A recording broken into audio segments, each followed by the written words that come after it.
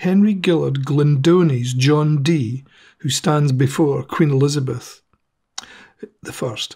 This is a late Victorian oil from the Wellcome collection, which was on display a few years ago at the Dee exhibitions in London, and I'm not sure whether it also featured in the Edinburgh exhibition as well. One presumes um, that there isn't much going on here, just Dee demonstrating some nice indoor fireworks.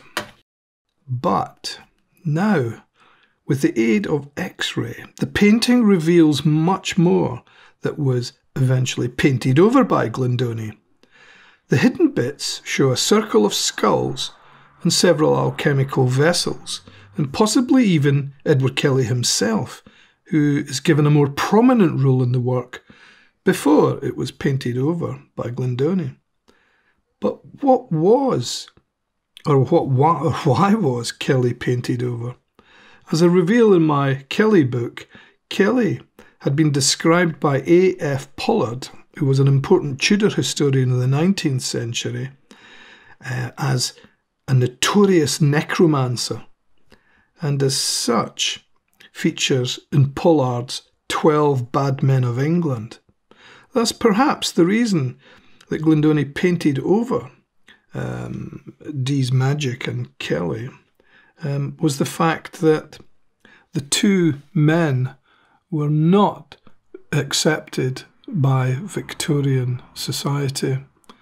Um, so therein lies a problem. Let's go back in time.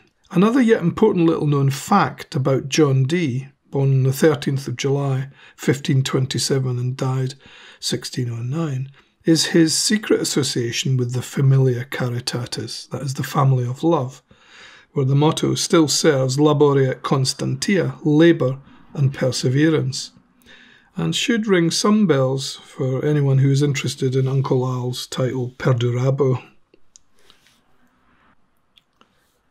As we know, Dee was an avid collector of occult, mathematical, geographical, and alchemical books, along with other esoteric ephemera and paraphernalia, thus making him a true 16th century polyglot and indeed magi. Dee's diary entry at Mortlake for 1582 mentions his first meeting with Kelly. It says March the 9th, Friday at dinner time, Mr. Clarkson and Mr. Talbot.